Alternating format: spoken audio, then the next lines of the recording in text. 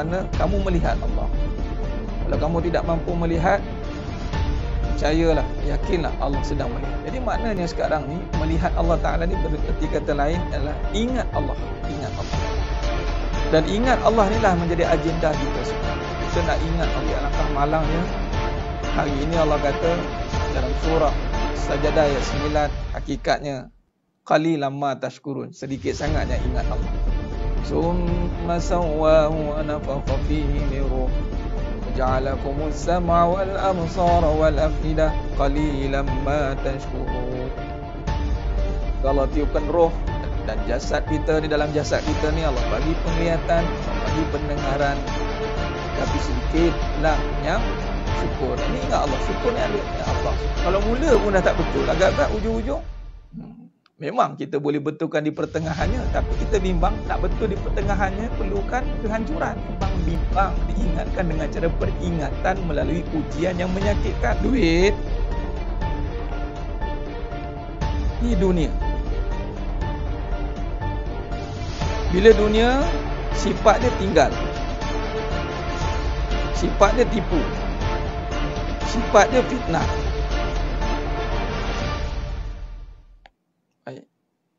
Soalannya kalau kita terus pergi bersandar pada duit, maka kita akan kena tinggal, kena tipu, duit itu makhluk atau kejadian. Bila kejadian, ada tak cara melihat makhluk? Ada tak Allah ajar cara melihat? Kan kita sekarang tengah belajar cara melihat tidak? Jangan tengok duit. Ha, kalau siapa tengok duit, jadi mata kita kaedah yang Allah ajar melalui kaedah torik nubuah. Bismi rabb bikallazi khalaqa bacalah bismi rabb bismi rabb bikallazi khalaqa nah cuba tengok ni sedang jemaah mata Allah SWT. Cuba tengok perhati baik-baik. Cuba tengok. Pertama. Kedua. Ketiga. Bacalah. Dengan nama. Dengan nama apa Rob Nama siapa? Nama yang menjadikan duit. Duit tu kejadian tidak? Ya. Sekarang ni, duit kita dah ada nama. Sekarang ni, bila kita baca dengan nama yang menjadikan duit. Nabi kata, bermula dengan bismillah dengan nama Allah.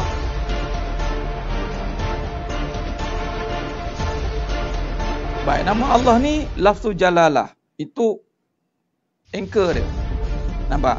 Bila dengan nama Allah, yang lebih khususnya apa? Khususnya adalah rezeki. Okey, pecahan lagi kaya. Sebab kaitan kaya dengan rezeki ni seringkali dikaitkan dengan duit. Maka ini satu kemuliaan. Allah muliakan kita. Yang mana kita ni hina. Tapi Allah muliakan dengan tempat yang mulia. Dengan majlis yang mulia. Dengan amalan yang mulia. Alhamdulillah apabila Allah muliakan Allah berikan kemuliaan untuk mengimarahkan kembali masjid subhanallah. Satu perkara yang sangat indah. Asal kita itu hina. Dari air mani yang hina. Namun apabila Allah nak muliakan kita maka Allah letakkan kita di tempat yang Allah salli ala Muhammad wa ala Allah itu mengatasi hak segala-galanya kita tunaikan hak dah, hak Allah dahulu barulah hak kita ini akan disempurnakan. Hak Allah ni Allah suruh iblis yang mana sebelum itu Azazil lah. Wa izqulna lil malaikati sujudu li Adam fasajadu. Dan hidup kita ni bermula dengan kisah iblis lah. Dan kisah Nabi Adam AS. Bermula kisah Nabi Adam AS. Kisah iblis itulah datangnya cerita kita. Iblis diberi tugas. Ada dua. Nabi Adam AS diberi tugas iblis yang nama Azazil pun diberi tugas. Iblis gagal melaksanakan tugas. Nabi Adam AS berjaya melaksanakan tugas. Kata iblis ni, dia pencetus. Apa cetusan dia? Dia akan cetusan dia adalah mencetuskan perbalahan, mencetuskan provokasi. Kerana apa? Rasa diri berkuasa. Baik. Maka bila diri merasakan aku berkuasa dan mulia itulah yang akan hancur binasa. Hak kita ya, akan terlaksana dengan sempurna. Memang, so saya bimbang, hak kita memang macam-macam benda yang kita nak kat muka bumi ni. Setelah kita menyempurnakan hak Allah terlebih dahulu.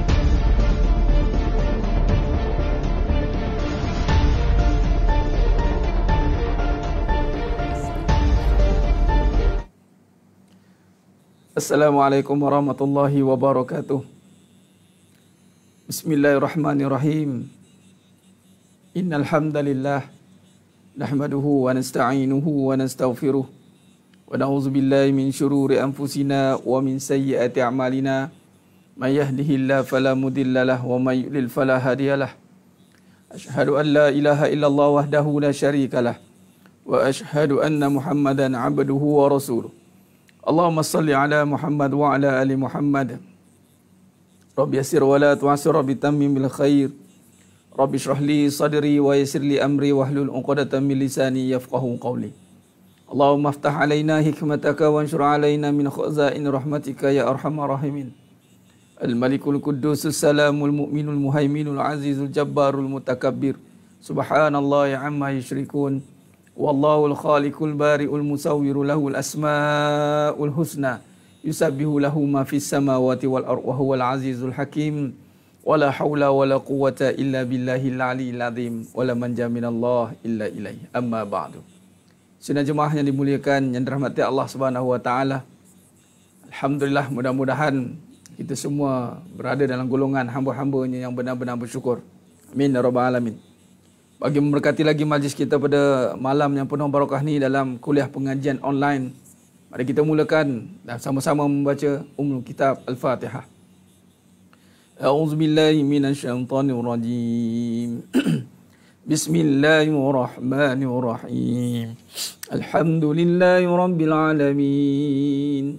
الرحمن الرحيم. مالك يوم الدين. إياك نعبد وإياك نستعين.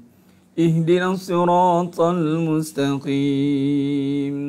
صراط الذين أنعمت عليهم غير المغضوب عليهم ولا الضالين. آمين. اللهم صل على محمد وعلى آل محمد. اللهم صل على محمد وعلى آل محمد. اللهم صل على محمد وعلى آل محمد. اللهم صل صلاة كاملة وسلم سلاما تما على سيدنا محمد. الذي تنحل بالأنقال وتنفر بالقرى وتقضى بالحوائج وتنال بالغرائب. وحسن الخواتم ويستسقى الغمام بوجهه الكريم. وعلى آله وصحبه في كل لمحة ونفس بعدد كل معلوم لك. برحمتك يا أرحم الراحمين يا أرحم الراحمين يا أرحم الراحمين يا حي يا قيوم يا حي يا قيوم يا حي يا قيوم برحمتي أستغيث. لا حول ولا قوة إلا بالله العلي العظيم ولا من جاء من الله. illa ilai amma ba'du. Sinar jemaah yang dimuliakan, Alhamdulillah. Suma Alhamdulillah ala kulli ni'mah. Pertama mula dan selama-lamanya kita bersyukur kepada Allah Azza wa Jalla. Di atas segala nikmat yang telah Allah berikan kepada kita hari ini sehingga kelewat malam ni dah pukul 10.30 ni. Ha, tadi saya kuliah di Ampang lambat sikit sampai. Ha, macam itulah ha, durasinya. Kalau kuliah yang berdekatan insyaAllah kita boleh mula pukul 10 tapi kalau kuliah yang saya ambil masa sangat sampai jadi kita akan mula uh, paling maksimal 10.30 lah tengok tadi pun sampai ngam-ngam Alhamdulillah walaupun bagaimanapun Allah izinkan kita untuk terus Uh, bersama untuk meneruskan kajian ilmu kita ini, kajian hakikat kehidupan. Alhamdulillah, semakin lama mudah-mudahan semakin terbukalah pintu hati ini, semakin terbukalah kefahaman kita untuk melingkat, menilai dan menyingkapi kehidupan ini agar tidak kita tertipu dengan kehidupan yang sementara, yakni kehidupan dunia. Wa mal hayatud dunya illa mata'ul ghurur. Ahlan wa sahlan wa marhaban bikum pada yang baru mengikuti pengajian ini dan tanya dan syabas kepada semua yang terus istiqomah itu mengikuti pengajian ini. Alhamdulillah. Alhamdulillah, Alhamdulillah. Dan suka saya ingatkan, jangan ikut saya. Jangan ikut saya, tapi ikutlah kebenaran yang ada. Ikutlah ilmu yang disampaikan, jangan ikut orang yang menyampaikan. Eh, hati-hati. Uh, kita tak mau jadi golongan yang pun taksub. Yang ni taksub ni maknanya uh, hanya dia je boleh tak. Allah amalahkan saya untuk menyampaikan ilmu ini. Ini ilmu hakikat kehidupan yang membicarakan tentang tauhid dan tasawuf. Eh? Jangan kita melihat ataupun jangan kita terpengaruh dengan uh, susuk tubuh yang menipu ini. Jadi gunakan sementara Allah izinkan saya menyampaikan, gunakanlah peluang ini untuk mengambil ilmu itu dan kita serapkan dalam kehidupan dan pakai sehingga kita mampu meneruskan perjalanan kehidupan ini. Mungkin tak tahu esok lusa ke sampai mana ke kita akan terus bersama secara online ni. Namun begitu kita doa pada Allah SWT untuk Allah berikan kekuatan, kudrat iradahnya untuk teruskan pengajian ini sampailah kita benar-benar faham dan menghayati dengan niat yang benar untuk menuntut ilmu walaupun dalam maya uh, insyaallah uh, kita akan cuba untuk setelah selesai PKP ni insyaallah kita doakanlah PKPP ni. Kita akan cuba jumpa secara berdepan talaki kita akan buat satu daurah uh, perjumpaan. Itu wallahu alam bila. Apapun kita telah bertemu dalam alam maya ini uh, dengan pengajian online secara online ni kita azamkan untuk terus menuntut ilmu. Dan sehinggalah Allah temukan kita kembali ke rahmatullah yakni kembali berjumpa dengan Allah dengan membawa kefahaman yang benar insya-Allah. Khair. Alhamdulillah, alhamdulillah, semua alhamdulillah. Baik. Kita uh, cukup bimbang perkara ini sebab bila kita cerita tentang tabligh ini, uh, kita malam ni kita akan sentuh pengajian ini sentuh menyentuh dalam pengajian masih dalam usul tabligh yakni menyampaikan keseimbangan di dalam kehidupan ini kita nak lihat kita tak nak ada lagi uh, dipanggil apa bendasing-bendasing ataupun ancaman-ancaman ataupun perkara yang boleh melarikan kita daripada tujuan asal kita mudah-mudahan bila kita ada kaedah yang benar ni insya-Allah ha? kalau sekiranya kita benar-benar ikut kajian ini kita ikut kaedah ini insya-Allah kita akan terkeluar daripada fitnah-fitnah yang mampu uh, memalingkan kita kembali kepada kebenaran sebab itu bila kita lihat bagaimana kita nak membangunkan kehidupan. Dia bukan dibangunkan dengan ikut kita, ikut suka kita. Tidak. Kehidupan ini ada penciptanya. Ini Allah Azza wa Jalla. Ketika Allah menciptakan kehidupan ini, sudah pasti ada aturannya. Ada kaedahnya. Jadi berusahalah untuk memahami kaedah kehidupan itu. Supaya kita tidak tertipu. Kita tidak dipermainkan. Kita tidak di, dikecam ataupun ditekan, dikecam, di, dibuatkan suatu keadaan yang kita hilang tumpuan kerana kehidupan yang kita tidak ada sistem, tidak ada kaedah dia. Ha? Allahumma salli ala Muhammad wa ala ali Muhammad. Khair. Jadi sedang penonton, sedang jemaah yang, yang rahmati Allah SWT. Jadi untuk itu, sebab itu kita bila kita kaji kehidupan, ha, bersandarkan kepada kebenaran. Kita bukan nak uh, keluar ataupun nak cuba mendetailkan tentang masalah. Sebab masalah ini kita pun tak tahu bagaimana nak atasinya. Sekiranya tidak dipilih, tidak dibimbing oleh Allah. Tapi apabila kita letakkan kebenaran, itu yang akan membimbing kita untuk menyelesaikan masalah, maka sudah pasti masalah apa pun yang mendatang, kita boleh hadapi insya Allah. Apa pun yang mendatang. Sebab kita telah persiapkan diri kita yang kebenaran. Yang disuruh itu adalah untuk memahami kebenaran. Bukan memahami masalah, persoalan-persoalan itu. Kadang-kadang masalah kita berubah-ubah mengikut keadaan. Setiap zaman berubah-ubah masalah kehidupan ini corak pendekatan yang diterima itu pelbagai. Contoh macam penyakit cukuplah. Masalah penyakit ini, bentuk penyakit tengok sekarang, COVID. Sehingga kan digezetkan tidak pernah berlaku. Bayangkan, walaupun dulu ada penyakit wabak juga, tapi kaedah sampai penyakit itu pelbagai. Jadi kalau kita tumpu kepada sesuatu keadaan, pengalaman semata-mata, maka kita akan terperangkap dengan keadaan dan kita akan terkubur dengan pengalaman akhirnya kita akan jadi orang yang tertekan. Sebab itu kita tidak boleh duduk dengan pengalaman, kita tidak boleh duduk dengan keadaan. Nanti kita akan dalam tekanan. Allahumma salli ala Muhammad wa ala ali Muhammad. Nah. Jadi sebab itu ha, kita meletakkan kebenaran di dalam perbancangan segala-galanya. Itu kebenaran mengatasi segala-galanya. Walaupun pahit, ha, walaupun pahit, kadang-kadang itu untuk kita menyikapi kebenaran. Seperti contoh, Ah, kita nak sambung kajian ilmu kita semalam kita sentuh tentang apa yang menghalang kita untuk kita melihat kembali ah, keseimbangan melihat kesempurnaan dalam kehidupan ini apakah asbab penghalang utama kita itu apabila kita tidak mampu rasa bersalah sebab kita nak menuju pada Allah SWT eh? dia istiqomah payah tapi ada kaedah dia Puan Sakinah istiqomah memang payah tapi ada kaedah bila ada kaedah dia tidak lagi payah. Jangan jadikan alasan susah atau payah sebagai uh, perkara yang tidak mampu kita lakukan. Susah dan payah itu adalah untuk menguji kita adakah kita serius nak ataupun main-main. Nampak tidak? Ha, contoh wanita. Kita sentuh tentang wanita semalam. Panjang lebar kita kupas. Sampai tersandar-sandar kita nak terima kenyataan wanita. Ui, begitu begitu sekali takrifannya. Sehingga menyebabkan kita tak mampu kadang-kadang nak menerima hakikat itu. Bahawa wanita ini adalah satu perkara yang Nabi SAW peringatkan kepada kaum lelaki dan juga wanita sendiri. Fitnah ataupun berbahaya. Nampak? Tapi wanita itu sendiri di sisi agama itu mulia, tinggi. Kerana apa? Sifatnya yang solehah. Ha, bukan wanita-wanita saja, tidak. Wanita itu kejadian yang Allah angkat sehingga dirakamkan dalam surah An-Nisa. Ada An-Nisa, tak ada surah Ar-Rijal. Dan Allah takdirkan keturunan bermula melalui perempuan. Itu ibu. Nampak? Allah muliakan. Di saat yang lemah tetapi yang lemah itulah menjadi asbab kelahiran. Ha, bayangkan. Ha, kalau ikutkan lelaki lah.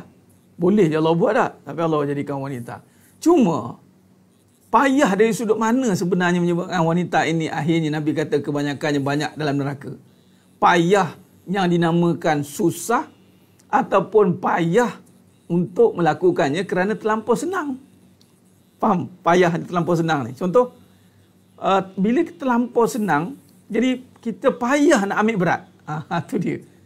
Nampak? Dia terlampau ringan. Contoh. Allah bagi peluang untuk wanita ini dimuliakan sehingga boleh masuk pintu-pintu mana yang dia nak masuk. Bayangkan. Mulia wanita ni. Sehingga kan dia hanya perlu menjaga ketaatan diri, ha, kehormatan dirinya. Menjaga suruhan Allah. Larangan Allah. Kemudian jaga suaminya. Kehormatan dirinya. Nah, tafadhal. Maknanya mudah, mudah sebenarnya. Mudah. Tetapi bila terlampau ambil mudah, maksudnya susahnya nak teliti benda yang mudah ni. Sebab mudah sangat, jadi dia payah dia nak ambil berat. Mudah sangat. Ha, nampak tak? Dok kita faham, ha, susah, susah. Nak buat, tak? Bukan susah nak buat. Sebab dia terlampau mudah untuk ditinggalkan, dilupakan. Jadi itu yang jadi susah tu. Ha, nampak contoh. Sebut kalimah Allah. Allah. Ha, bila kata Allah, sebutan kalimah Allah, itu mudah, ringan. Allah. Tanpa buka mulut dengan luas pun. Allah. Tapi semudah itulah kita melupakan. Jadi susah itu bukanlah kerana berat sesuatu perkara itu. Tapi susah itu adalah kerana, kerana terlampau mudah kerana terlampau mudah sesuatu perkara itu contoh orang perempuan terlampau mudah kerjanya kerjanya terlampau mudah tidak dipertanggungjawabkan pun nak dakwah pun bukan pada orang perempuan orang perempuan tak wajib keluar berdakwah orang tanya ustaz apa hukum perempuan berdakwah keluar ke sana ke sini tak wajib habis tu apa yang wanita kena buat orang perempuan jaga kehormatan diri ya taat kepada mak ayah dia kalau yang belum kahwin kalau yang sudah kahwin taat kepada suaminya Selesai. Mendidik anak-anaknya. Begitu Allah jaga wanita ni. Maksudnya sayangnya Allah kepada wanita. Sehingga Allah tak nak bebankan pun. Tapi yang mudah itulah menjadi fitnah yang paling besar. Sebab terlampau mudah. Benda yang patut buat, dibuat. Benda yang tak disuruh, dibuat. Yang dilarang itu yang dibuat. Nampak tak? Ah, itu dia. Eh? Allahumma salli ala Muhammad wa ala ali Muhammad. Khair. Jadi sinan jemaah mata Allah Subhanahu wa taala. Ini kita perlu hayati dan renungi perkara ini. Jangan salah singkap. Sebab apabila kita tentuh tentang kebenaran, kebenaran ini semuanya memudahkan. Pahit itu kerana menungkah kepada kebatilan. Dia tak berlawanan. Dia, dia tak, uh, maksudnya tidak bersamaan dengan yang batil. Memanglah dia pahit. Tapi bila dah sama macam kita dah malam, dah sama, dah terima kebenaran. Subhanallah. Nampak? Ha, jadi, akhirnya, kita lah sendirinya akan melihat perkara itu susah mengikut kefahaman dalam keadaan kita ada dunia atau tidak. Ha, itu dia. Allahumma salli ala Muhammad wa ala Mudah payah nak buat hmm, mudah tapi payah nak buat. Dia mudah tapi payah nak buat sebab mudah sangat. Lain sekali ya. Orang perempuan ni kenapa dia jadi fitnah? Kenapa dia jadi fitnah pada orang perempuan? Sebab pada mereka tanggungjawab dia itu tanggungjawab tidak dibebankan. Orang perempuan ni. Kalau tengok pada tanggungjawab, itu nafkah tidak pada perempuan. Apa lagi? Dakwah tidak pada perempuan. Apa lagi? Ha? mendidik itu pada lelaki semuanya letak pada lelaki sebenarnya. Malah yang wajib menjaga perempuan itu lelaki. Menjaga kemaslahatannya lelaki. Jadi apabila dah terlampau mudah, terlampau senang, itu jadi kejatuhan. Faham? Ah, tu dia. Sebab itu akhirnya ha, wanita ini menjadi fitnah kembali kepada dirinya dan dirinya orang lain apabila bila dah terlampau mudah dia dipersoalkan balik contoh ah takkan solat je apa ciri orang berjaya Suya orang berjaya menyahut panggilan ketika dipanggil untuk berjaya. Eh, takkan itu je? Dalam itu je, itu je. Berapa ramai yang ketika Allah panggil, Hayya ala salah, hayya ala falah, on the dot, on the spot. Berapa ramai? Dan kalau betul lah mudah sangat. Beginilah. Tengok sampai ke sudah lagi. Masjid. Belum lagi era kegemilangan Nabi dulu. Zaman pemerintahan Khulafah Ar-Rashidin dulu. Masjid tutup. Uh, masjid waktu solat tutup yang lain. Macam kat Mekah lah. Sekarang. Nah, timbul pula kontroversi tentang solat kan. Ha, tu memanglah tidak bolehlah kita uh, generalism tu. Uh, semua orang macam tak boleh. Tapi orang Islam yang tak solat, tak kisahlah background dia siapa. Islam seorang ustaz, Islam seorang guru, Islam seorang polis, Islam seorang tentera, Islam seorang doktor, Islam seorang siapa pun dia, asal dia Islam, dia tidak jaga solat yang mudah itu. Maka dialah yang paling rosak atas muka bumi ini. Nak cakap apa? Nak buat macam mana? Dan kata Imam Imam Syafi'i Allah antara yang paling ringan sekali. Tinggal solat. Antara melakukan solat dan meninggalkan mana lebih susah? Meninggalkannya. Meninggalkan senang. Nampak tidak? Maksudnya benda tu mudah. Tetapi apabila ada halangan. Halangan-halangan itu menyebabkan dia menjadi terperangkap. Ha, halangan-halangan tadi. Allahumma salli ala Muhammad wa ala ali Muhammad. Ha? Sekurang-kurangnya kita jagalah solat. Itu yang paling kurang sekali. Ingat, selagi mana tidak melihat melambat-lambatkan solat itu satu masalah besar, selagi itulah masalah semakin besar. Orang mana ada ambil berat tentang solat ni? Mana ada? Orang tahu solat je, tapi nak jaga solat tidak. Tidak. Ini Allah sendiri yang kata, وَاسْتَعِينُوا بِالصَّبْرِ وَالصَّلَاةِ innaha lakabiratun illa 'alal الْخَوَشِئِينَ Minta tolonglah dengan sabar dan dirikan solat. Dan sesungguhnya yang berat itu, sesungguhnya solat itu berat. Melainkan orang yang takut Allah. Oh perempuan, serumah contoh di rumah. Ada masa, ada masa pun susah nak jaga. Apa tak lagi yang sibuk uhara tu? Lagilah tak jaga. Allahu Akbar. Nampak tidak? Ha. Jadi sebenarnya mata Allah SWT, dia keringanan itu. Ha, keringanan itu, kita selalu ambil kesempatan. Ha, di atas segala kelonggaran yang diberikan, kita suka mengambil kesempatan. Bila ambil kesempatan, datanglah kesempitan. Orang yang selalu mengambil kesempatan di atas kelapangan yang telah diberikan. Tunggu masa datangnya kesempitan. Contoh, saya nak sebut malam ni juga. Tak kira. Saya nak sebut juga. Apa dia? Apa kesan-kesan yang berlaku contoh? Yang berlaku, impact-impact yang berlaku, peniaga-peniaga contoh, kena angkut, kena ini. Kena angkut. Kesian. Ya, kesian. Kita kesian.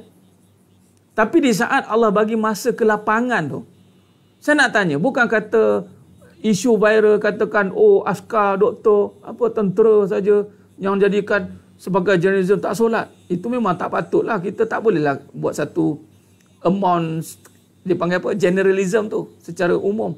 Tapi nak bagi tahu, peniaga-peniaga ni ketika Allah panggil solat, saya akan tumpuk pada peniaga pula.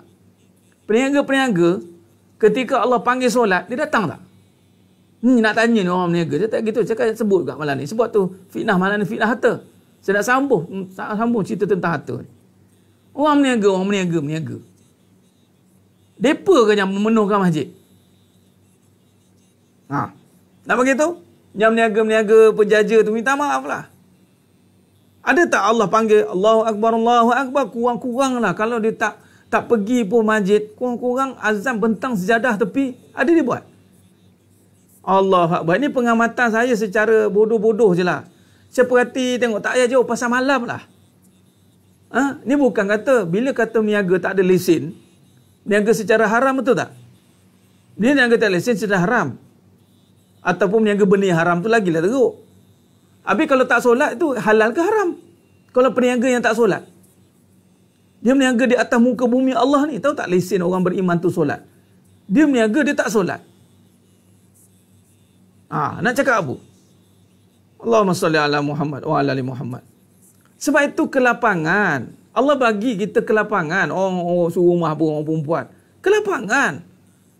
Ada waktu rehat, datangnya uzur. Kelapangan. Lapang. Tapi kelapangan ini dia ambil kesempatan. Lalu bila datang kesempitan, marah. Marah. Datang kesempitan. Sebenarnya sebelum kesempitan, apa Allah buat? Kelapangan kan? Relax dia. Relax brother, brother relax. Jalan dulu. Sibuk lah, sibuk lah. Urus stok, niaga. Busy benar rasa. Rasa busy sangat rasa. Malu dengan Sayyidina Umar Khattab radhiyallahu an. Malu dengan Sayyidina Osman bin Affan radhiyallahu. Malu dengan Khulafa Ar-Rashidin yang meniaga bilion-bilion. Time susah pun kadang-kadang kita susah nak jaga. Time senang. Allahu Akbar. Ah, dia nak bagi tahunya, ha, kelapangan, jangan ambil kesempatan, nanti akan butuhkan jadi kesempitan. Di saat tak kena, memanglah kita leka. Dah kena, baru kita terpinga-pinga. Di saat tak kena, jangan leka. Kalau sekali kena, baru terpinga-pinga. Ah, di situlah baru kita nak mula menjongkit, orang panggil. Tapi renung tak? Di saat kelapangan, Allah bagi kita meniaga dengan keadaan yang eh, bebas. Allah holkan satu keadaan yang Allah tak kacau, Allah tak hantar ha, penguat kuasa-penguat kuasa, tiba-tiba datang kali ini. Ha, cuba fikir. Tidak jadi satu perkara itu sia-sia. Jangan. Kita nak challenge dalil ni boleh. Sebab tu Sayyidina Umar Khattab radhiyallahu an sangat teliti dalam bab hukum hakam ni. Ha, bila bila sesuatu perkara berlaku datangnya kesusahan, kesempitan, Sayyidina Umar Khattab akan tanya, apa kamu buat waktu lapang? Waktu lapar apa kamu buat? Sehingga diuji kesempitan begini. Subhanallah. Jangan kita hari ini kita melihat satu sudut kesusahan saja. Tapi apa yang kita lakukan di saat kesempatan yang lapang? Kelapangan. Rupanya kita ambil kesempatan. Macam orang perempuan. Allah bagi dia kelapangan. Solat satu bulan bukan penuh. Nampak tidak? Tak penuh. Dalam ibadat yang berat, Allah bagi dia rehat. Tapi dalam rehat-rehat tu dialah yang paling kuat mencabar Allah Taala. Apa takdir? Bila datang kena takdir yang dia tidak kena, dia akan memberontak cepat. Dia panggil apa? Biasalah orang ustaz orang perempuan, emosi, nampak? Mereka sendiri klaim diri mereka ini adalah makhluk berperasaan. Sedangkan Allah tidak, tidak pernah klaim pun. Nabi tidak pernah cakap pun orang perempuan ni wah, penuh dengan perasaan. Tak ada. Hebat, kuat. Orang, laki dengan perempuan ini ada komposisi yang sama dari segi jiwa. Tapi apabila perempuan itu sendiri mengambil kesempatan atas kelemahan dia, maka berlakulah datangnya kesempitan. Allahumma salli ala Muhammad wa ala Muhammad. Ha? Jadi, sidang jemaah mata Allah Subhanahu Taala, kita renungkan, eh? kita renung. Anak laki agar kita solat di masjid, rotan dia, puan umur arif. Kalau saya, saya halau dia. Ada benda kita kena tegas. Bab solat jangan buat main-main.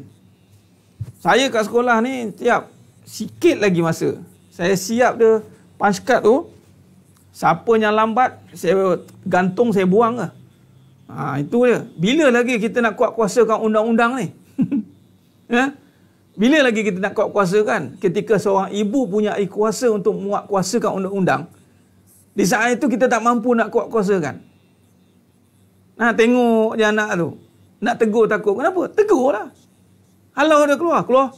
Kamu tak solat kamu aja jangan masuk rumah. Ada masa kita kena tugas tegas lah. bila tak tegas, ini nak berlaku akhir zaman, apa berlaku? Kesempatan demi kesempatan diambil. Ha, takkanlah kesempitan dah datang baru kita nak teringat. Ha, sekali kena, kena semua. Murka Allah turun, tak kira dah. Tak kira dah orang beramal, tak beramal. Kena sekali semua kena. Allahumma salli ala Muhammad wa ala ali Muhammad. Eh? Allah, Allah, Allah, Allah. Allah. Ha.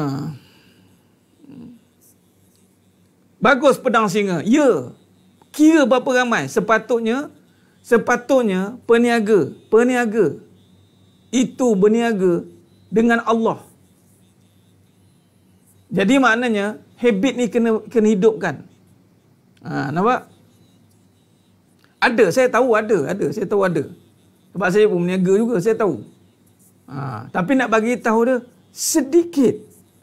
Dia tidak menjadi satu uh, undang-undang. Macam kita kena ada lesen. Tak ada lesen, kena tarik. Betul tak? Ha, itu pun main, main redah juga tu. Tak apalah, kena pun kena lah. Ha. Kalau dengan manusia, kita boleh lagi negosiate. Tapi kalau kena dengan Allah, tak boleh nak negosiate lah. Kalau kena hantam sekali-kali, ha, terlentang kat situ juga kena. Sebab itu kita kena ingat mengingatkan. Nampak tak? Ha, ingat mengingatkan. Sebab peniaga ni, itu paling dekat dengan Allah sebenarnya.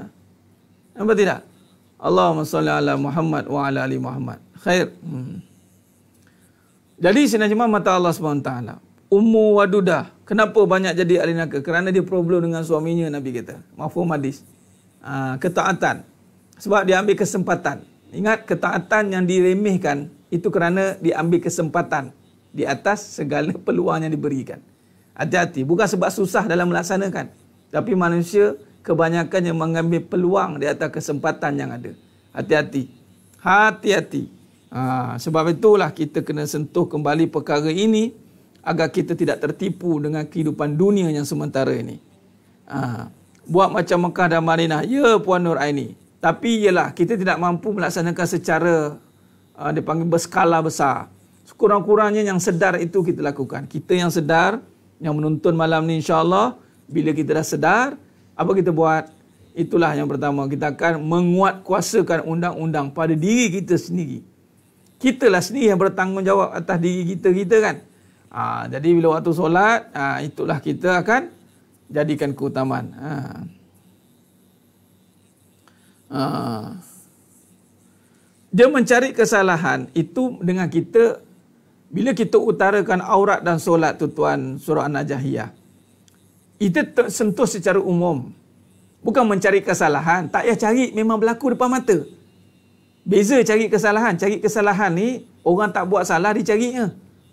Ha, tapi kalau dah tegang-tegang buka aurat, itu bukan cari kesalahan. Itu betul-betul depan mata berlaku. Ha? Boleh? Ya. Allah masalah. Sekejap ya.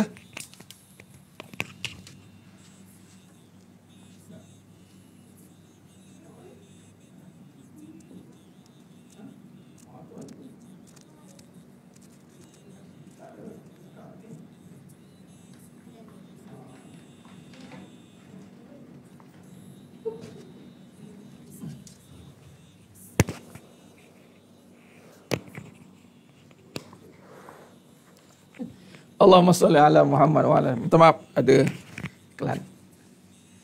Yang tipes yang uh, apa? Pemasyuri agung datang. mak mak. Uh, Allahumma salli ala Muhammad. Khair. Baik. Jadi sina jemaah mata Allah Subhanahu wa taala. Eh? Jadi berbalik tadi dalam konteks kita melihat bagaimana nak menguatkuasakan undang-undang. Nah? Kuat-kuasakan, kuat-kuasakan hmm, atas diri kita. Eh, mencari kesalahan. Itu kalau tak nampak. Tapi kalau depan mata tu berlaku, tu bukan mencari kesalahan. Itu dah terang-terangan. Contoh, solat terang-terangan lewat. Itu saja je lewat, terang-terangan. Antara dosa yang dibuat secara terang-terangan itu seperti solat. Dilewat-lewatkan dilewat-lewatkan, dilambat-lambatkan tanpa ada alasan yang kukuh. Allah Akbar. Ini satu kemaksiatan secara terang-terangan. Nampak tidak? fawailul lil musallin. Eh, fawailul lil musallin, celakalah orang yang solat. Eh, orang solat pun celaka juga ustaz. Kenapa? Ha. Sebab dia ha, cuai dalam ha, cuai pada melaksanakan menjaga solat eh. Allahumma salli ala Muhammad wa ala ali Muhammad.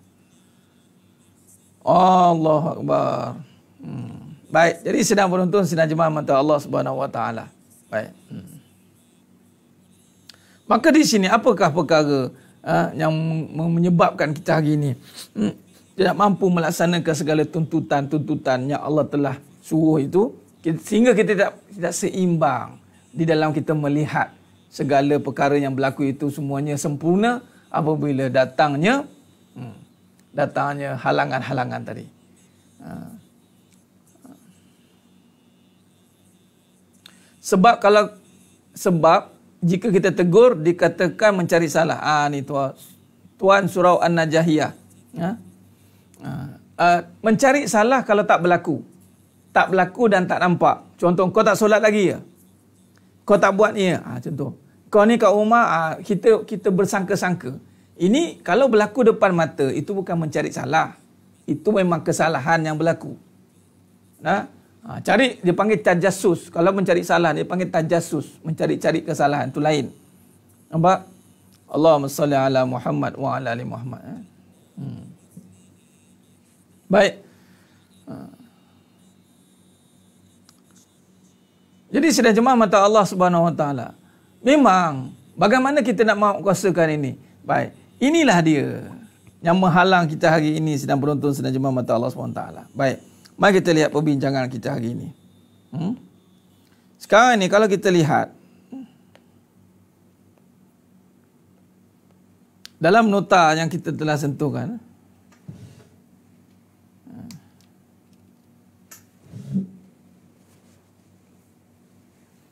Baik.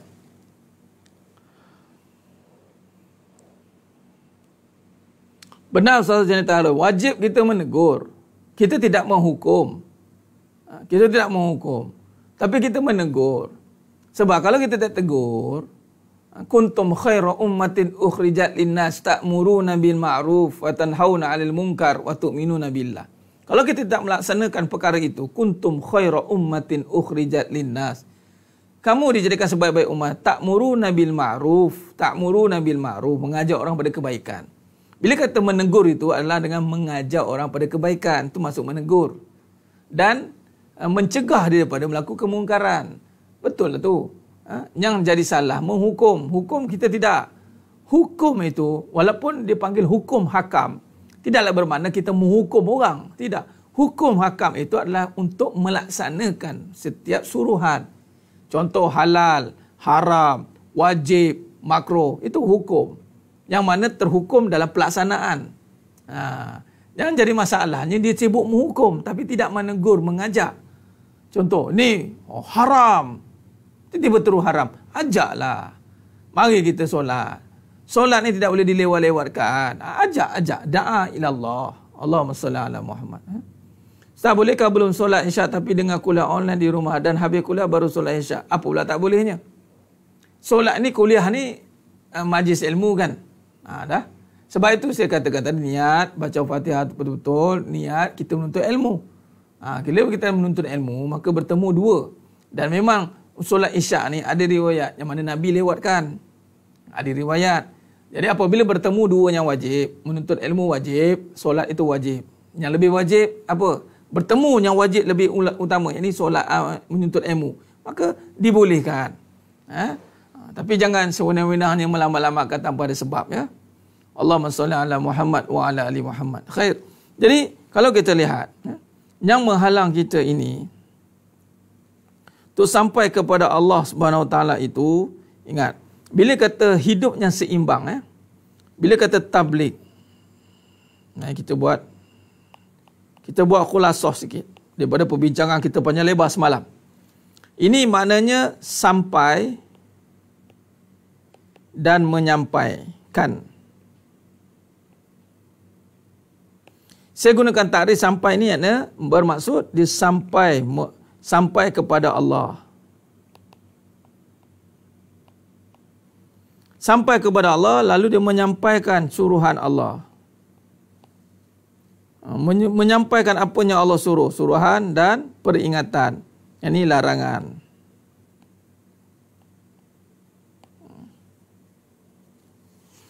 Jadi sebenarnya mata Allah Subhanahu Wa Taala. Hmm? Baik. Bila kata tablik sampai dan menyampaikan. Hmm? Allahumma salli ala Muhammad wa ala ali Muhammad. Khair. Maka di sini apakah perkara yang menghalang kita? Kita dah sentuh semalam kan? Yang menghalang kita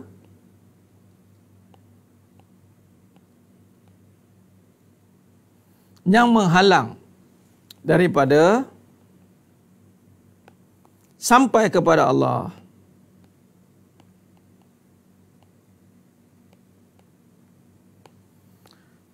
Satu sifat eh, yang menghalang kita ini dan yang terhalang itu adalah apabila tidak rasa bersalah ataupun suka menyalah, tidak rasa bersalah.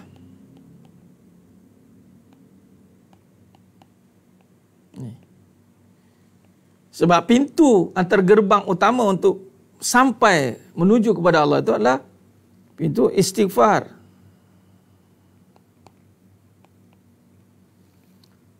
Bila kata istighfar, itu mesti lahir dari hati yang merenung kejadian rasa bersalah. Nampak? Bersalah. Tapi tidak mampu merasa bersalah. Ha. Malah timbul sifat menyalah.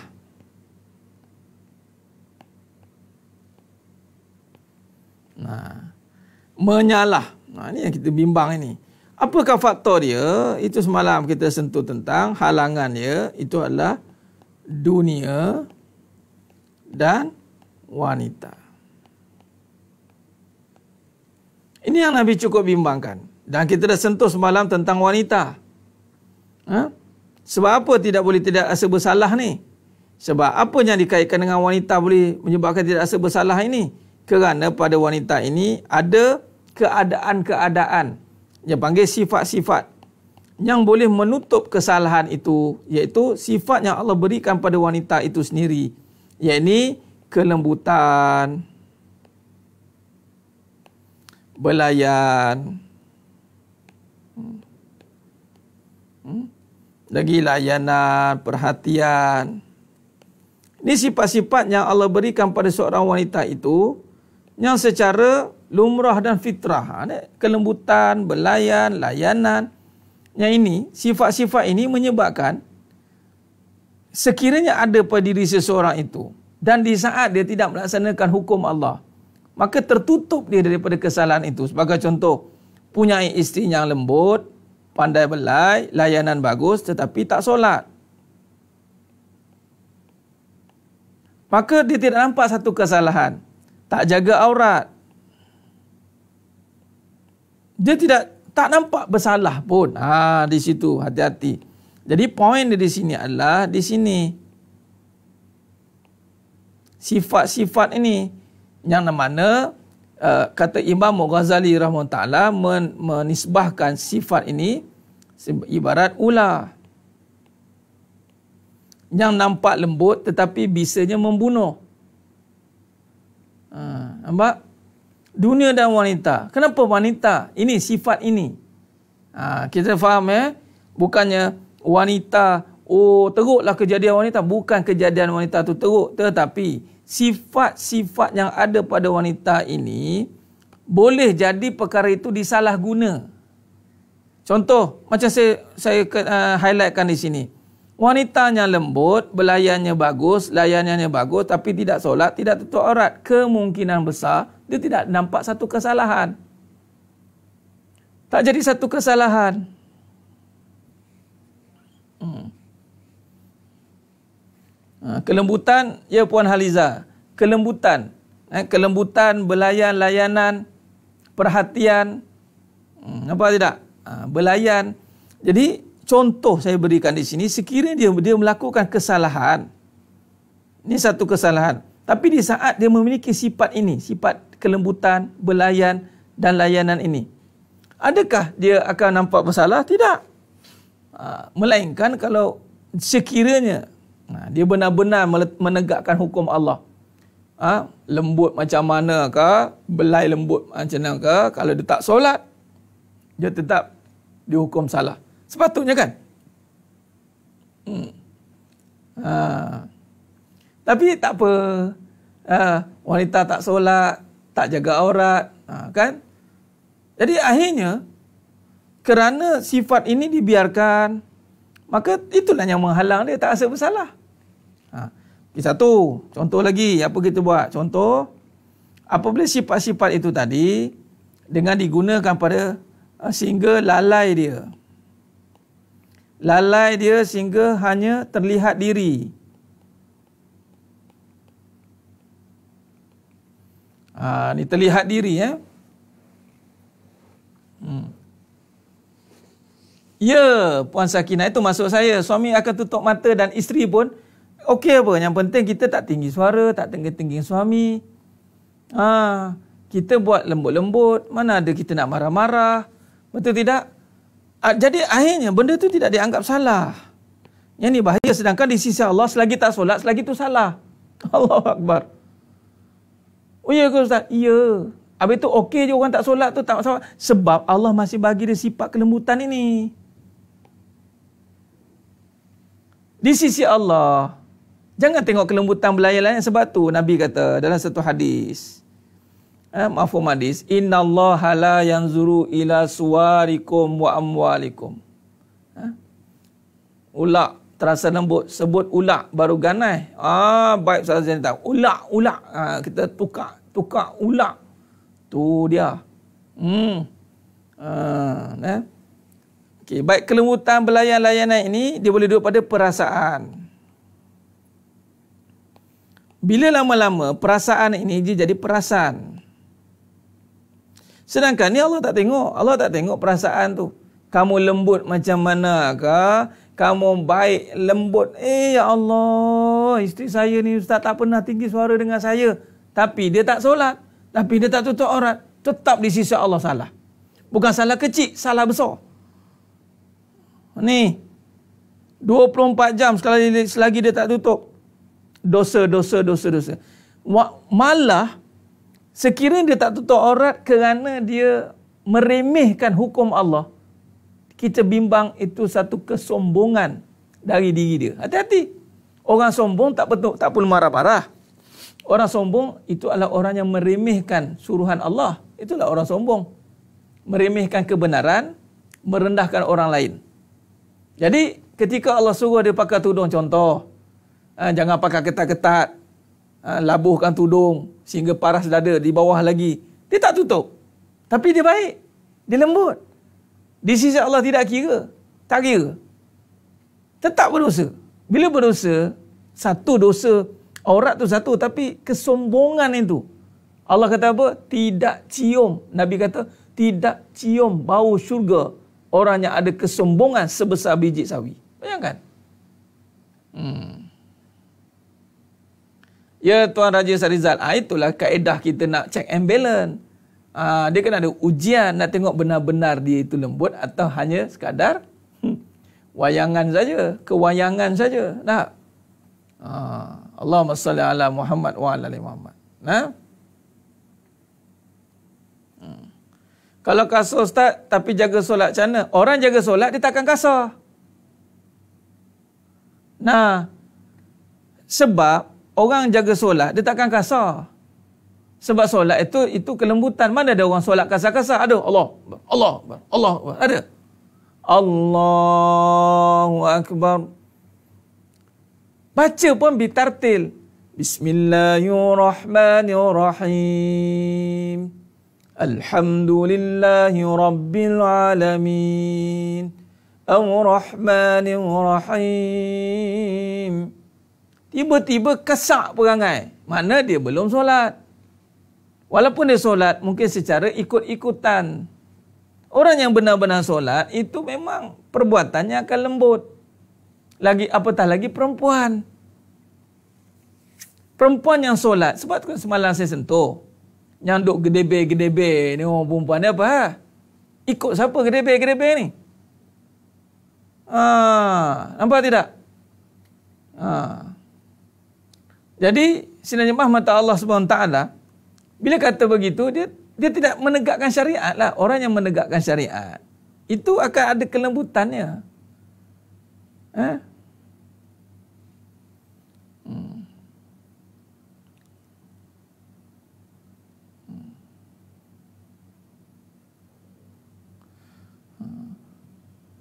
Jadi bila dia melaksanakan ha, suruhan Allah Subhanahu Wa Taala itu dengan baik, dia melaksanakan segala tuntutannya, maka okey. Allah akan kekalkan kelembutan itu. Gedebe, entah gedebe, gedebe. Ha, tu orang Kelantan, mana orang Kelantan?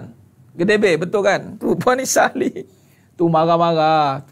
Nampak kasar dia. Eh? Niat baik tidak menghalalkan cara. Ini bukan niat baik lagi ni puan uh, puan khairan ni niat dia belum tentu baik ni. Maksudnya sekarang sifat yang ada pada dirinya tidak boleh menutup kesalahan yang ada. Tetapi sifat wanita niat dia contoh lembut. Tapi niat dia niat dia untuk bukan untuk Allah. Kenapa tidak? Hmm, eh? bukan untuk Allah. Jadi niat dia itu tidak baik. Bukan selagi dia tidak untuk Allah dia tidak baik walaupun perbuatannya baik. Ha. Tapi kelembutan belayan ini, layanan ini adalah sifat. Sifat yang boleh menutup kesalahan. Ha, itu poin dia. Eh? Hmm. Allahumma salli ala Muhammad wa ala Muhammad. DB pun okey dah Ustaz. Oh, ya. Yeah. Uh, acu. Eh? Surah admin. Uh, Najahiyah. Uh. Seorang Kelantan. Gedebe. Ha, itulah. Allah, Allah, Allah. Apa dapat? Salah. Wanita ni sifatnya halus, lembut. Tiba-tiba bertukar menjadi kasar tu kenapa? Ha? ha? Baik. Itu ke- kemuliaan seorang wanita itu letakkan pada wanita yang beriman. Jangan wanita yang terkesan dengan perasaan, dengan perasaan dan perasaan dan keadaan ini. Jangan. Ini akan mengubah diri yang sebenar seorang wanita yang bermulanya itu dengan kelembutan. Ha? Allahumma salli ala Muhammad wa ala ali Muhammad. Khair.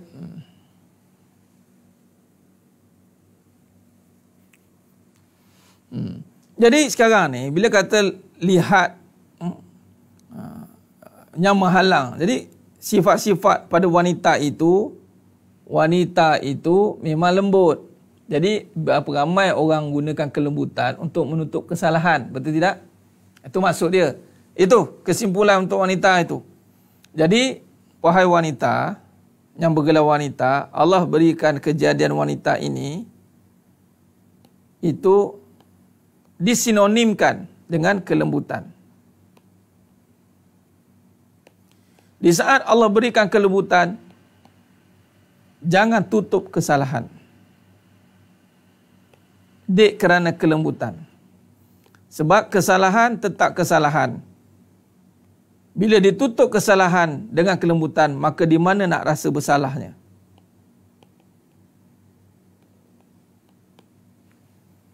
Ah. Tapi Ustaz dah tak ada kelembutan Ustaz, dah kasak dah. Dah kasak tu sebab dah terlampau banyak buat salah. Ketaatan dah tak ada. Ha? Ketaatan dah tak ada.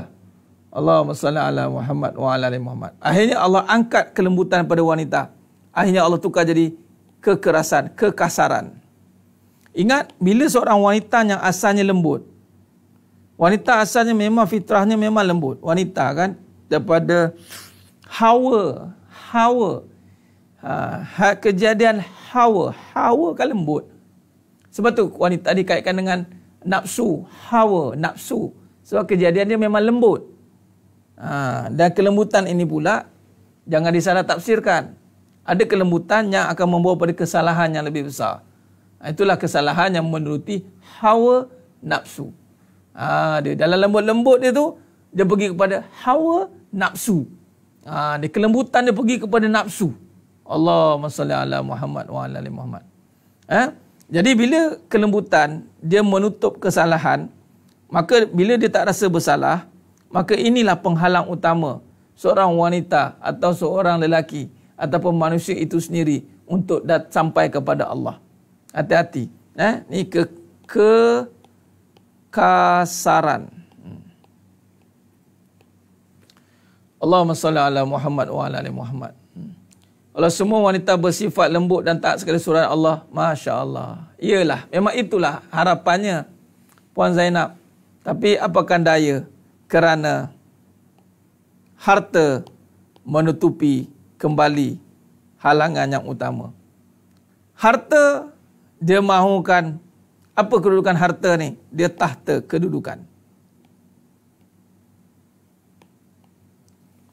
Dan harta ni juga turut boleh menutup kerana kedudukan kerana perhatian. Dia nakkan perhatian. Maka lagi sekali dia boleh menutup rasa bersalah. Hati-hati. Ya? Baik. Cengeng, gedebek, ada udah-udah lah tu. Ha, cukup lah tu. tak payah dikupah lagi mana tu. Ha? Hmm, baik. Baik, jadi sedang jemaah mata Allah SWT. Maka apakah yang menghalang? Sebab harta. Tadi wanita dah selesai sebab ada sifat kelembutan kan? Sifat kelembutan tu akan menghalang kita untuk dekat dengan Allah. Apa maksud sifat kelembutan halang tu? Sebab kelembutan itu sebenarnya memang di, dijadikan oleh Allah untuk melaksanakan ketaatan. Tetapi kelembutan itu terfitnah kerana kesalahan yang dilakukan. Akhirnya terhalang dia untuk rasa bersalah. Ha, hati-hati. Baik, yang kedua yang menjadi topik utama kita adalah harta. Harta. Eh? Harta ni yang menjadikan, yang Nabi tekankan, menjadi fitnah umat akhir zaman. Ha, nah? Jadi bila ada kedudukan, kenapa harta ni? Apa ibrah harta ini? Harta ni dia membawa kita pada satu kedudukan dan dia menyebabkan perhatian. Bila ada kedudukan dan bila ada perhatian, perhatian ni follower lah eh. Follower. Ha, ada follower, perkataan yang trending sekarang ni. Bila follower dia sudah ada ataupun dia ini mempunyai follower, hmm? baik, jadi sedang jemaah mata Allah Subhanahu Wa Taala, maka segala perkara yang melibatkan kesalahan boleh ditutup oleh perhatian ini dan kedudukan ini. Hmm. Nampak? Rupa para dikira harta ke Ustaz? Ya. Rupa rupa para juga boleh ni perhatian ni pada rupa lah. Ha perhatian tu pada rupa lah. Ha, rupa, harta bagi dia. Contoh muka ini harta bagi seorang yang menggunakan muka dia untuk mendapatkan pendapatan. Nah begitu. Jadi sedang jemaah minta Allah Subhanahu Wa Taala. Khair. Hmm. Ya benar Puan Rosna. Inilah dia. Bila kata harta, kita tengok lagi sifat harta ini. Baik. Bila kata harta, itu perkara itu melibatkan uh, satu kejadian yang mana kalau kita nisbahkan kepada makhluk, itu satu perkara yang dunia ini. Dunia. Nisbah pada makhluk, itu dunia. Dunia itu harta. Harta itu dunia. Dan dunia ini sifat dia apa? Sifat dunia ini adalah mal'unatun, terlaknat. Ad-dunya mal'unatun. Laknat. Dunia ni sifat dia bangkai. Nampak? Okey, sekarang ni cuba tengok eh. Saya ada contoh nota satu ni. Perhati eh.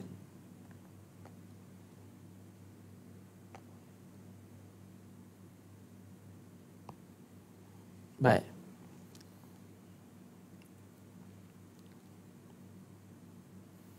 Cuba perhati ni. Dalam satu hadis Nabi SAW, perhati. Daripada Abu Sa'id Al-Khudri berkata bahawa Rasulullah SAW, kamu akan mengikuti jejak langkah umat-umat sebelum kamu, shibron bi shibrin, sejangka demi sejengkal, sehasta demi sehasta. Sehingga jika mereka masuk ke lubang biawak pun kamu akan mengikuti mereka. Sahabat bertanya, Ya Rasul, apakah Yahudi Nasrani yang kau masukkan? Ya, Nabi. Siapa lagi kalau bukan mereka? Baik, pertama kalau kita lihat Yahudi dan Nasara yang termusuh uh, agama ni, musuh Islam ni, kita akan ikut uh, trend ini tanpa sedar. Apa trend mereka adalah harta, harta. Harta. Ha? Baik. Hmm. Baik. Jadi bila kata kita akan ikut trend Yahudi Nasara, kita tak nampak lagi. Tapi rupanya tanpa sedar kita ikut kaedah mereka untuk harta tadi. Harta tu menjadi satu benda yang kembali mulia. Sebab mereka memuliakan harta. Mereka memuliakan, mereka mereka memuja-muji. Contoh bintang-bintang, artis-artis yang hebat-hebat, tak kisahlah. Orang yang berharta itu dijadikan orang yang berkuasa sehinggalah timbul uh, perbahasan cash is king. Nampak tidak? Allahumma salli ala Muhammad wa ala ali Muhammad. Perhatianlah. Uh, dia nakkan satu simbol yang membawa pada perhatian. Ada orang menjadikan ilmunya sebagai harta, kedudukannya sebagai harta, rupanya sebagai harta, anaknya sebagai harta. Jadi harta ni dia merujuk pada tumpuan, perhatian, kedudukan. Ha, jadi Yahudi dan Nasara ni dia menjadikan itu sebagai agenda. Jadi dia akan pergi kepada cara hidup kita. Ha, ni, ni kisah fitnah dunia kepada cara hidup ni. Allahumma salli ala Muhammad wa ala ali Muhammad. Hmm. Ya? Sebab itu, cara memuji ni mereka akan kagum lah dengan ciptaan-ciptaan dunia ni. Mereka akan kagum. Nampak? Baik, kata Nabi SAW daripada Imam Ahmad At-Trabani daripada Ka'ab bin Iyad. Ia berkata, saya mendengar Rasulullah SAW bersabda, Inna likuli ummatin fitnah wa fitnah ummati al-mal. Ya? fitnah umatku adalah har, harta. Harta. Baik, sekarang ni kalau kita lihat, apakah perkara ini menjadi satu agenda besar uh, umat akhir zaman ini? Ya. Orang marah kerana harta, sebab harta. Contoh kes yang baru ini. Apabila harta mereka ter, diganggu, maka di situ datangnya pemberontakan nanti berlaku. Harta. Bergaduh kan sebab harta. Nak dapat harta bergaduh, tak dapat pun bergaduh, ada pun bergaduh. Hati-hati. Nah, Allahumma salli ala Muhammad wa ala hmm. Jadi kalau kita lihat, dan harta ni juga menjadi asbab datangnya kelemahan kita. Contoh dalam hadis daripada Sauban radhiyallahu anhu berkata Rasulullah SAW bersabda, akan datang suatu masa di mana ada bangsa-bangsa mengerumuni kalian seperti rakus makan makanan. Kenapa? kerana Allah cabut takut musuh. Musuh tak takut dengan kita. Kenapa? Sebab wahnun. Cinta dunia dah takut mati. Eh? Allahumma salli ala Muhammad wa ala Muhammad. Sekarang kita belajar fadu ain ke fadu kifayah? Fadu ain puan sakinah. Ni tauhid, tauhid. Tauhid dan uh, akidah dan tasawuf. Eh? Ha? Nanti saya pecahkan ya puan sakinah Yusuf. Ha, ini kan kadang orang tak tahu. Ini aku ngaji agama ni pecahan ni kifayah ke fardu ain ke ha, confuse ni ha, dia apa saja melibatkan dengan iman tu fardu ain cuma olah bahasa saja kita olah kan yang melibatkan etikot ni kan kawan sakinah kan ni cerita ni kan nak menuju pada Allah ni bila kata menuju pada Allah tu perbincangan tentang apa iman ha, iman Allahumma salli ala Muhammad wa ala Muhammad baik yang ini Puan Dirsya kasih ni ni nota lain. Ha, ini saya asingkan tentang harta saja. Ha, bukan bukan hakikat ha, kehidupan. Tablik itu dah habis dah tu. Perbincangan tablik dah habis cuma saya tengah syarahkan kupasan tentang keseimbangan dalam kehidupan. Ya? Ha, yang mana sambungan ini nanti kita akan uh, bincang di dalam kitab baru iaitu Lisanul Haq, kalam-kalam kebenaran. Ha, kalam-kalam kebenaran. Nah, uh, Puan Desya kasih. Hmm. Baik, jadi bila kata ada wahnun, cinta dunia dan takut mati, maka di situlah datangnya kelemahan kita. Lemah kita. Allahumma salli ala Muhammad wa ala ali Muhammad. Dan di sini ada beberapa perkara yang perlu difikirkan dan perlu dilihat. Bagaimana fitnah itu yang dinamakan mengganggu cara hidup kita. Eh? bagaimana dia mengganggu cara hidup kita. Mari kita lihat. Ini telah saya listkan ni untuk kita perhalusi. Baik. Yang pertama, eh? yang pertama, cuba tengok. Bila kata harta ni menjadi utama dalam hidup kita. Bila kata harta menjadi yang utama dalam hidup kita. Yang pertama, Yahudi dan Nasara akan buat kita terkejar-kejar dalam urusan dunia. Ha, ini dia. Terkejar-kejar dalam urusan dunia ni. Apa urusan dunia ni? Urusan dunia, urusan yang nampak lah. Ha, apa saja urusan yang nampak tu urusan dunia. Ha, bila kita niatkan dia untuk pahala, barulah dia jadi pahala. Tapi pastikan urusan dunia itu tidak langgar syarak. Tapi nak ceritanya, urusan dunia menjadi terkejar-kejar. Urusan agama, biasa-biasa saja. Ha, ini dia hati-hati. Ha? Allahumma salli ala Muhammad wa ala ali Muhammad. Ha? Hmm. Baik. Pertama, dia akan bekerja-kerja dalam urusan dunia. Contoh, nak dapat duit, laju je. Tapi nak dapat pahala, tak apalah. Tak apalah. Banyak dia dia punya halangan dia, alasan dia. Contoh, untuk solat. Solat itu pahala ke dapat harta ke dapat pahala? Ah, pahala lah Ustaz. Pergi kerja dapat harta ke dapat pahala? Harta dulu. Sebab belum tentu dapat pahala lagi. Kalau dia pergi kerja, tinggalkan solat, bukan dapat pahala. Dapat harta, dapat pahala. Ah, sebab urusan-urusan dunia ni, dia kena kaji kaedah keutamaan dia dalam meletakkan diri dia itu kat mana. Ha? Hati-hati. Allahumma salli ala Muhammad wa ala ali Muhammad. Kedua, melihat dunia itu besar. Bila kita melihat dunia itu besar, ni cara hidup ni. Oh, hebatnya. Kerja mana? Oh, oh hebatnya. Ha, kerja mana? Nama? Tingkat berapa? Ha. Tak adalah saya kerja ala dengan syarikat ABC Berhad. Oh, oh Berhad ya adalah tingkat tingkat ke 180. Oh, tinggi tu, tinggi tu. Nampak besar. Amount duit nampak besar, pahala nampak kecil. Nampak? Ini cara hidup ni. Ceritalah macam mana pun. Takkan sampai kepada Allah Subhanahu Taala. Ha? Yang ketiga, melihat aspek luaran sebagai faktor kejayaan. Dia tengok luaran penentu dia untuk berjaya. Ha, ini hati-hati. Penentu kejayaan dia luaran luaran. Nampak? Hmm. Allahumma salli ala Muhammad wa ala ali Muhammad. Eh?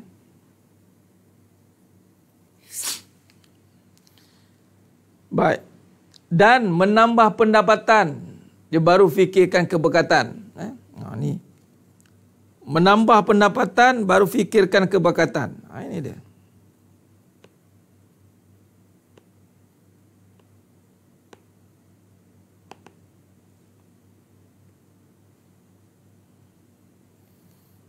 Ni cara hidup, cara hidup ni. Ha, melihat dunia tu besar, aspek luaran sebagai dalaman, ni faktor dalaman tinggal. Melihat aspek luaran sebagai faktor dalaman. Hmm. Ha? Menambah pendapatan, baru fikirkan keberkatan. Ha, ni tambah ni, fikirkan keberkatan. Dia ni, nota ni dia tertutup pula ni. Ha? Doktrin barat kerana itu bila mana ada kekayaan harta be the best nombor betul kan ustaz ya kekayaan harta malah ada harta bukan kekayaan ada harta ada harta ha? Allah akbar ya puan Zainiah Saleh kerja panchkat takut kena potong gaji betul tidak ha tu dia ha, sebab tu di sini sistem sini kita akan buat ha, solat pun berpanchkat hmm. Ha, adapun kalau nak kerja panchkat kerana takut makan gaji haram tak apa ha, dia kerja panchkat sebab takut makan gaji haram. Dia dia kan kerja 8 jam. Tapi masuk lewat. Tapi claim full. Ha, takut jadi haram tu. Tu dia takut tu. Ha, tapi ketika waktu solat, dia kena kejar jugalah. Tapi waktu kerja dia, dia, dia kejar. Waktu solat dia tak terkejar-kejar. Mana kena tipu tu. Ha? Allahumma salli Allahumma salli ala Muhammad wa ala ali Muhammad. Baik. Hmm. dan usaha keras untuk mendapatkan dunia. Ha, ini dia. Ini menambah pendapatan baru fikirkan keberkatan. Eh? Ha. Allahumma salli ala Muhammad wa ala Muhammad. Ustaz tolong kupah bab orang solat bertutur sempurna iman. Ya, sebab solat itu sepatutnya solat itu adalah terjemahan iman. Ha, orang yang beriman, orang yang pasti solat. Orang yang solat belum tentu beriman. Contoh, ketika dia melaksanakan solat. Contoh, tetapi dalam hatinya masih merasakan Allah ada selain Allah yang besar. Contoh, dunia besar. Dia solat, tapi iman dia tidak mantap. Dia solat, tetapi solat sekadarnya. Tidak terkejar-kejar nak solat pun. Dia solat tetapi masih bekerja keras untuk dunia. Ha, untuk solat dia biasa-biasa saja. Ha, tu orang solat. Sedangkan usaha keras untuk mendapatkan dunia sebenarnya tidak. Ha, usaha keras untuk mendapatkan akhirat dunia itu dilakukan sekadarnya bukan berkeras bermati-matian. Tak boleh. Ha, nah. Allahumma salli ala Muhammad wa ala ali Muhammad. Ha, jadi solat itu terjemahan iman. Orang beriman pasti solat. Tapi orang solat belum tentu beriman sebab akan tengok gaya hidup dia. Kalau orang solat masih bekerja-kerja dalam urusan dunia, itu maknanya dia tidak benar-benar faham tentang hakikat iman. Patut orang yang solat, dia tak terkejar-kejar urusan dunia dah. Teratur di urusan dunia dia. Nampak? Orang yang solat, itu belum tentu boleh melihat akhirat itu besar. Ha, sebab tu dia solat, Allahu Akbar patutnya melihat Allah Maha Besar. Tetapi dia melihat ada benda lain yang lebih besar pada kekuasaan Allah. Ha, ini hati-hati. Eh? Ha, jangan ikut-ikutan. Melihat aspek luaran sebagai faktor kejayaan. Ha, orang yang solat, sepatutnya dengan kejayaan solat itu dia dah berjaya. Tetapi, ialah ustaz, orang solat, apa ada, susah. Nampak tak? Padahal dia boleh jaga solat. Dia solat boleh awal waktu. Tapi ketika dia tidak ada apa-apa luaran yang nak dibanggakan, maka orang melihat itu satu kemiskinan ataupun satu tiada pencapaian dalam hidup dia. Ha, itulah itu yang kita ha, kena faham. Eh? Baik. Jadi menambah pendapatan, baru fikirkan keberkatan. Ha, dia solat tapi dia tak fikirkan keberkatan. Itu kadang-kadang orang cakap solat tapi nipu. Ha, macam itulah ibaratnya. Ha, sebab imannya tidak jelas. Ha, nah, Baik. Jadi usaha keras untuk mendapatkan dunia. Ha, ini sepatutnya usaha keras untuk mendapatkan akhirat. Eh? Jadi Allah salli ala Muhammad wa ala ali Muhammad. Khair. Jadi kesimpulan eh, yang kita boleh buat pada malam yang penuh barakah ni. Hmm. Jadi kita boleh lihat akan perkara ni. Ha, ha ni sebagai contoh tadi. Ha? Dalam bab dunia ni kita dah listkan dah jujur ni. Cuba lihat. Dalam dalil tentang dunia saja, kita telah meletakkan dunia itu, tak ada lagi nas yang mengatakan dunia itu mulia. Tak ada lagi nas. Tiba-tiba kita pegang dunia, kita perasan mulia. Ha, ini yang kata susah rasa bersalah tu. Ha, eh? Cuba lihat di sini. Pertama, dunia itu melalaikan surah Al-Hadid ayat 20. Dunia itu kecil surah An-Nisa ayat 77. Dunia itu tipu daya surah Al-Fatir ayat 5, surah Al-An'am ayat 70. Dunia itu permainan surah Muhammad ayat 36. Dunia itu senda gurau surah Al-An'am ayat 32. Dunia dan harta itu fitnah. Hadis riwayat Imam Ahmad Tirmizi. Dunia itu ibarat bangkai. Hadis riwayat Imam Ibnu Majah, Hakim dan Tirmizi. Baik cuba lihat. Tak ada satu pun yang nak, nakal di sini. Ha? Dalil yang mengatakan dunia itu mulia. Tak ada. Tak ada tuan-tuan. Sebenarnya mata Allah SWT. Tak ada. Bila tak ada, kenapa tiba-tiba dia boleh bertukar menjadi satu perkara yang penting dan mulia pula ni? Ha, pegang duit, rasa hebat. Ini yang berlaku. Makin banyak duit, makin tak rasa bersalah. Sedangkan dunia itu melalaikan. Belum menjadi, ya ustaz boleh buat pahala. Ya itu boleh buat pahala. Sekarang ni pegang tu saja belum tentu pahala lagi. Allahumma salli ala Muhammad wa ala ali Muhammad. Jadi dunia ni dengan 1, 2, 3, 4, 5, 6, 7 ni. Hmm?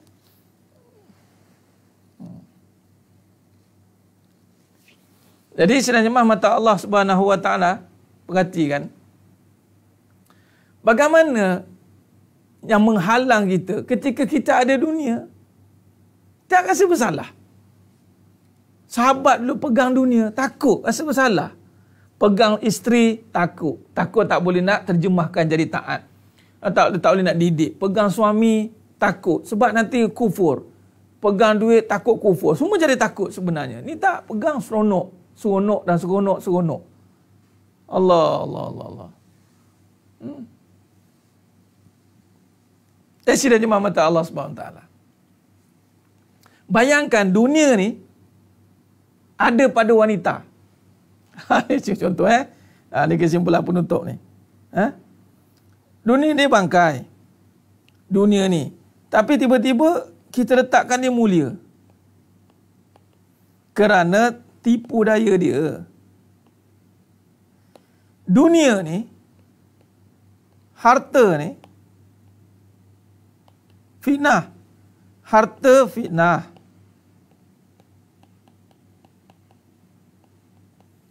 Letak dekat wanita fitnah. Wanita fitnah. Baik, wanita ada harta dia ada dua fitnah. Dua fitnah digabungkan menjadi satu. Wanita dan harta.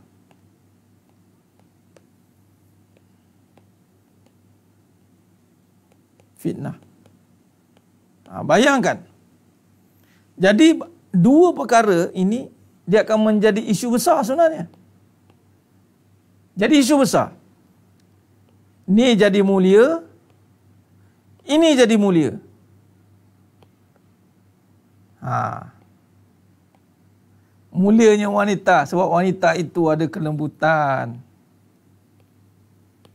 Mulianya harta kerana ada kedudukan. Bukan amalan. Sepatutnya mulianya wanita itu kerana amalan. Ketaatan. Mulianya harta itu apabila adanya amalan, sedekah. Ini tidak ada sejarah harta dah mulia dah. Wanita mulia dah. Gabung dua ni, bayangkan macam mana fitnah tu berlonggok. Sebab tu saya duk ayat tekankan wanita, harta, wanita, harta. Sebab kita tahu dah kedudukan tu. Allah Akbar. Dua adalah wanita. Harta dia pegang pula. Subhanallah wanita harta dan tahta. Wanita lagi, ya itulah hakikatnya Puan Ariana. Ha? Dah Nabi dah kata. Jadi wanita dan harta. Jadi kalau wanita lagi, bila wanita lagi, wanita lagi. Jadi maknanya wanita ni ada pada siapa ni? Sebenarnya wanita ini ada dalam diri lelaki. Ketika kita berkata tentang wanita, soalnya kena ambil ibrah pengajaran dan kena ambil berat itu lelaki. Kerana kalau dibiarkan wanita ini dibiarkan, maka dia akan masuk ke dalam diri lelaki dan dia akan makan dari dalam. Sebab wanita itu daripada diri lelaki. Lelaki bukan daripada wanita ya. Kena faham. Lelaki bukan dari wanita. Pening kita. Wanita ya dari lelaki. Sebab tu jangan terkejut dia boleh jadi perangai macam lelaki. Habis perempuan ustaz lelaki. Ha, sebab lelaki ni ada kejadian wanita. Padanya memang ada kejadian wanita. Sebab tu lelaki ni dia boleh mengurus wanita. Sebab lelaki itu, wanita itu ada dari diri lelaki. Nampak? Ha. Jadi sekarang ni, sekiranya wanita ini dibiarkan. Wanita, harta. Menjadi penting bagi seorang lelaki Agak-agak di mana kedudukan lelaki ini? Di saat wanita dan harta menjadi penting bagi seorang lelaki. Eh pentinglah wanita. Yalah kalau tak ada wanita lelaki tak jalan. Pentingnya perempuan, pentingnya perempuan. Harta oh pentingnya di saat wanita dan harta menjadi kepentingan bagi seorang lelaki, di saat itu lelaki akan berada di paling bawah sekali. Dia akan dipijak. Ini dia. Ha?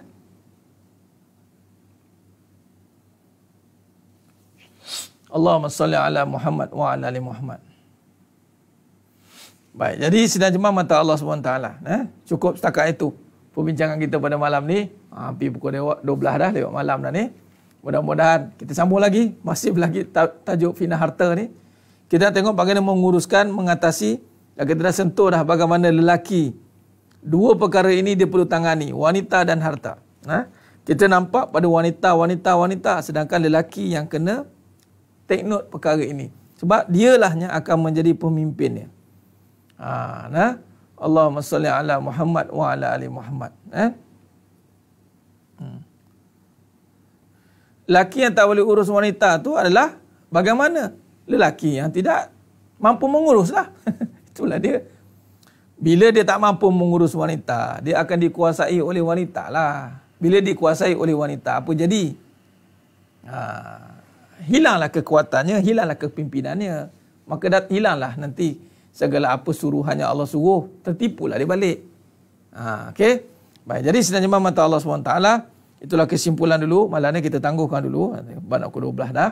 Nanti kita sambung lagi perbincangan kita pada uh, besok malam. InsyaAllah. InsyaAllah. Moga-moga Allah bantu kita semua. Moga-moga Allah bantu. Ha, dan tajuk ini yang penghabisan ni memang kita kena kritikal sikit. Sebab kita nak keluar untuk melaksanakan. Kita nak menyampaikan ni. Bila nak menyampaikan, masih ada halangan bagaimana nak sampaikan. Kalau masih ada halangan. Sampai pun tidak, bagaimana nak menyampaikan. Hati-hati ya. Allahumma salli ala Muhammad wa ala ali Muhammad. Khair. Mudah-mudahan apa yang kita bincangkan pada malam ni Allah berkati kita semua insya-Allah. Semua yang menonton pada malam ni dihindarkan daripada fitnah wanita dan harta ini semuanya insya-Allah Allah bantu kita. Sebab tu doa sebelum bagi salam tu Nabi ajar kan. Allahumma inni na'udzuka na'udzuka min azabil qabr wa wa azabi jahannam wa fitnatil mahya wal mamat wa fitnatil masihid dajjal. Bacalah doa tu sebelum bagi salam. Ha? Untuk jauhkan kita pada fitnah-fitnah inilah yang kita bimbangkan insya-Allah. Jadi mohon ampun mohon maaf di atas segala kekurangan terkasar kata tu kurang bicara mudah Allah Taala sajalah yang mampu menyempurnakan perbincangan kita pada malam yang penuh barakah ini cukup setakat itu kita jumpa pada besok malam insya-Allah aku lu qali haza wa astaghfirullahalazim li wa lakum wa bila taufiq wal hidayah. Assalamualaikum warahmatullahi wabarakatuh. Kita tangguh dengan tasbih farah dan surat al-as subhanakallahumma wa bihamdik. Asyhadu an la ilaha illa anta astaghfiruka wa atubu. Bismillahirrahmanirrahim. Wal 'asr innal insana fi khusr. Illa alladhina amanu wa amilus solihat wa tawassaw bil haqq wa tawassaw bis sabr. Wallahu alam bisawab takbir. Allahu akbar